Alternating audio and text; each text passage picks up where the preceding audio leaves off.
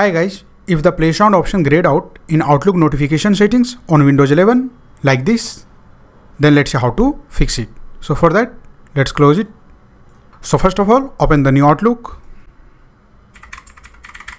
Here is the new Outlook. Simply open it. Once you open the new Outlook, simply click on the settings icon here. And now here, the settings will appear. And now here in the settings, go to general section here and then click on notifications. Now here under the notify me about section, expand the mail. And here you can see the play sound option is grayed out and I am unable to enable it. You can see nothing is happening.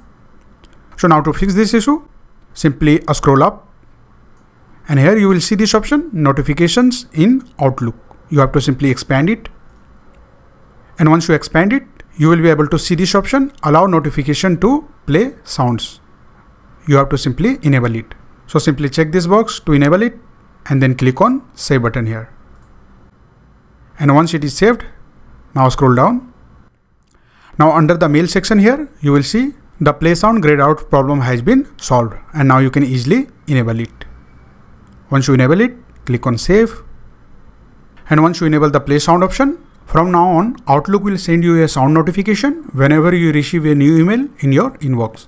So that's it guys. This is how you can easily fix play sound option grayed out in new Outlook notification settings on Windows 11. If you like this video, please subscribe the channel.